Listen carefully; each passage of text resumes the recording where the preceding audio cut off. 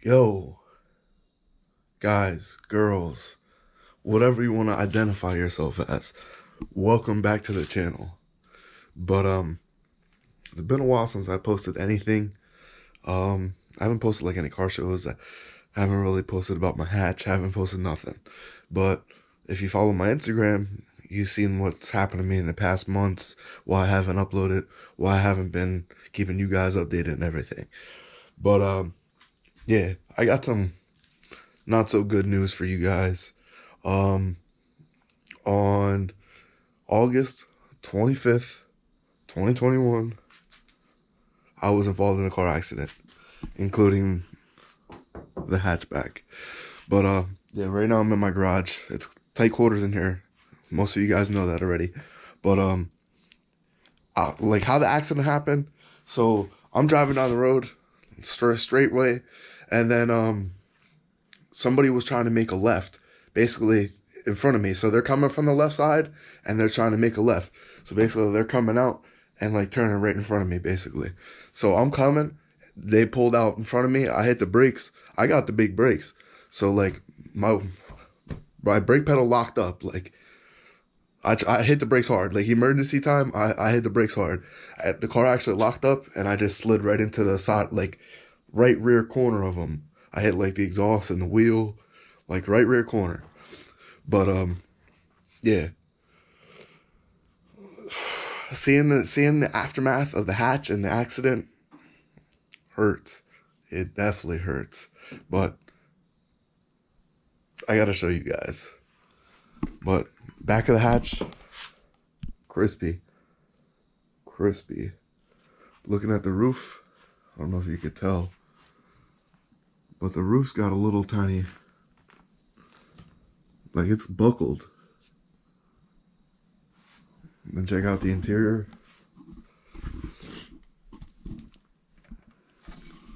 Airbags. Well, this airbag definitely would have went off if I had an airbag. But I actually hit my whole body onto the Mugen steering wheel. I had some bruises. Like now I'm, I'm all healed up. This is a month and a half later. But airbag went off. My passenger, which was RX-7 Rotary Lifestyle, was in the passenger seat. He had a seatbelt on. But for some reason, usually when you when you hit the brakes, you lock up the brakes your your seatbelt locks up. I wasn't wearing a seatbelt, so I hit my I hit my whole body onto the steering wheel. He was wearing a seatbelt, and then the steering. I mean the the seatbelt didn't lock up. So basically, like he was wearing a seatbelt, and he went full, still full force, like into the dash and the windshield. Basically, he had his face on the windshield, and he hit his arm on the dash, like kind of. He tried to like do the the football move and like stiff arm him type thing, but he ended up breaking his arm, like from trying to stop himself from hitting the dash. Like thank God he didn't like fly out of the windshield. The seatbelt like held him in, but it's just like the seatbelt didn't also lock like it should have. I don't know why. Like I don't ride in the passenger seat to like even know that, notice that or anything like that. But yeah, like I hit my knee, like I bodied the steering wheel, and then I also hit my knee on like the little coin pocket here. Um, like it's kind of hard to tell. Let me get a flashlight.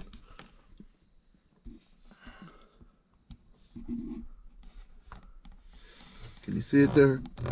But like I rocked my knee on that and then on the other side. So basically that whole like column section is just kind of like twisted up and bent now. But check the outside out here.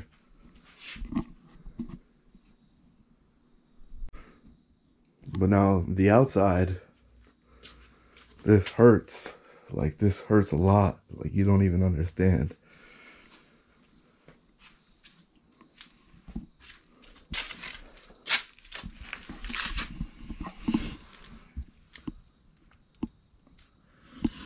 Go to the other side.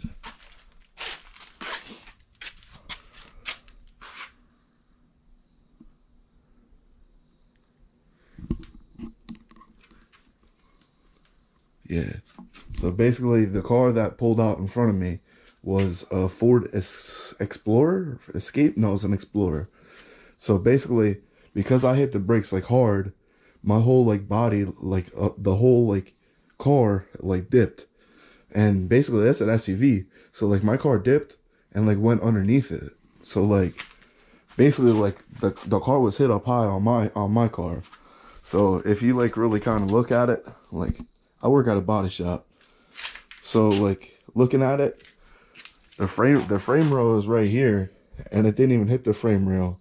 It hit to the right of the frame rail. Cause I tried to like swerve and get it like I tried not to hit him, of course, but it happened. But I hit like this whole this whole section and yeah, push everything back, as you can tell.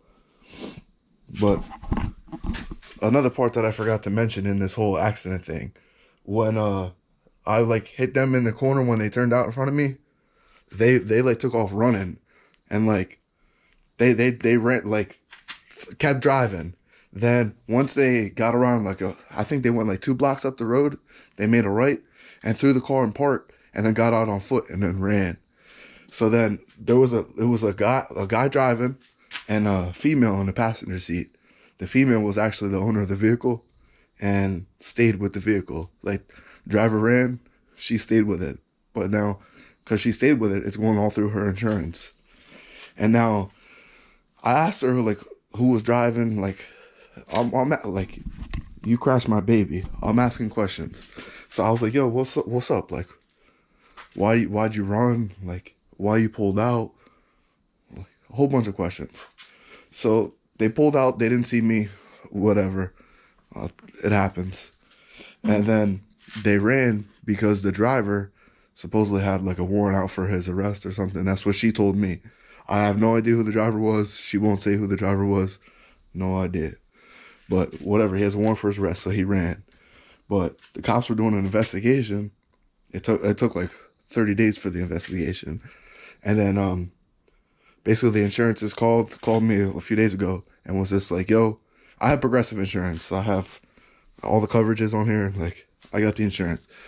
Their insurance, Liberty Mutual, has been like kind of slacking, but they they accepted full like they're paying me out. I'm just waiting waiting for a check and they gotta come and check out the car. But yeah. Let me pop the hood real quick. Alright, so with the hood popped, it's hard to tell, but yeah. What I'm thankful here is I didn't hit it on this side because if I would have hit it on this side, I would have hit like the whole motor and everything that would have messed up. But the Mishimoto Rad took most of the hit and the headlight in this whole whole section here. But if you're looking at the car, looking at like the strut towers, it's Got the flashlight here. But this whole strut tower is like crooked. It's hard to tell, but I can tell that it's crooked. Like it's all, it's just pushed back. But yeah, just because it took the impact here, like there's a nice crease on this strut tower. It's just, it's just all banged up. Like the whole strut tower is just all dented.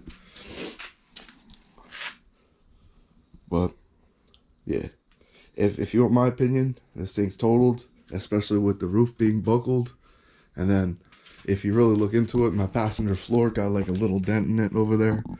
But if you ask me, the car's totaled. I'm sure they're gonna total it with insurance because Kelley Blue Book on these isn't really super high.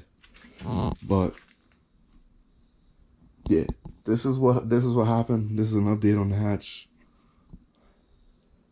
Yeah. But now, like, I've been car shopping. I've been looking at different cars, different hatches, because I'd like to. I would like to get another hatch again, just because I have like so much like. First, I got so much EK parts into this thing, so like I got to strip this thing and then put it on another EK. But so if I find another EK, it's just like easy switching. If I get like an EG, I would have to like kind of start all over. But I think I'm gonna look for an EK hatch. Um, stay tuned on that. I'm probably gonna get another EK hatch, but we'll see what's up with that. But uh, this is just like a not really a quick video, but this is an update video showing like what's going on. Like my car my car is damaged. My car is junk now. It, it it kills me. And it's all because somebody else. But hopefully insurance pays me out here soon and I could just start stripping this and getting ready for a whole nother shell and then put the K in it. Like it still it still runs and drives. Like I'm just rad rad broken. I need like a headlight. If I get a shell, like it should have a headlight, but I really need like a rad. Like all my K swap AC stuff. Like I got the hybrid racing kit going up to here. Everything's just mangled here with the AC. It's hard to hard to see, but yeah, look, this is a whole rad support. Yeah, but it didn't hit the frame. It just hit like structural, like strut tower. Hopefully that coilover is not bent. Like the wheel's not really. The fender's destroyed, but hopefully the wheel's not pushed back like crazy. But that's my update for you guys. Um, don't like this video. Like actually thumbs down this video because this this video makes me sad. This hurt. This hurts the soul. This hurts the heart. I've like I've owned this car for eight years, and I've been through so much work with this thing. So I don't I don't even know what to say. It hurts. But yeah, we'll be back soon. This is just like an update video. I'm letting you guys know what happened, the whole situation. But yeah, I'm gonna get another hatch. I'll be back. Like, comment.